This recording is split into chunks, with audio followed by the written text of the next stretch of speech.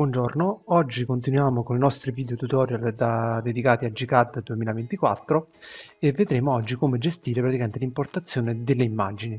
Allora abbiamo due modi in particolar modo per poter importare un'immagine e il primo è andare sul menu inserisci e possiamo appunto andare a utilizzare la funzione allega la funzione allega mi permette di caricare tutti quelli che sono i vari formati di immagine, map, GIF, JPEG, TIFF, ICO, PNG, i principali insomma. Quindi io posso andare a selezionarmi l'immagine, seleziono, faccio ok e poi mi chiede di inserire direttamente nell'area di progetto di lavoro.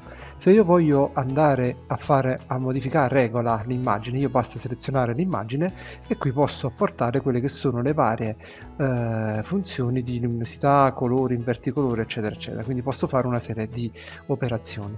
Se invece io voglio andare a gestire come riferimento esterno, allora a questo punto possiamo andare a procedere all'interno del menu vista e qui troviamo appunto riferimenti esterni.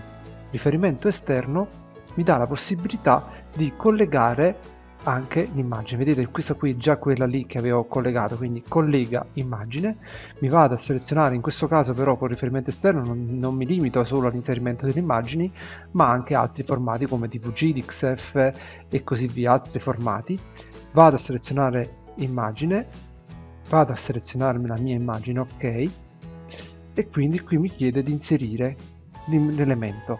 Quindi innanzitutto seleziono tutti i parametri su schermo clicco su ok e la prima cosa punto di inserimento. Mi chiede di inserire il mio punto di inserimento.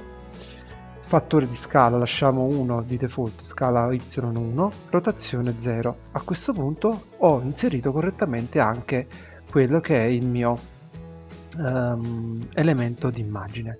Se voglio andare a portare delle definizioni immagini, io posso, vedete qui, ho tutte le mie immagini collegate con il percorso di riferimento da dove andare a prendere l'immagine, posso fare operazioni di modifica sull'immagine come prima e quindi avere una gestione completa oppure includere anche l'immagine all'interno del mio progetto. In questo modo vado a salvare l'immagine all'interno del file di progetto di.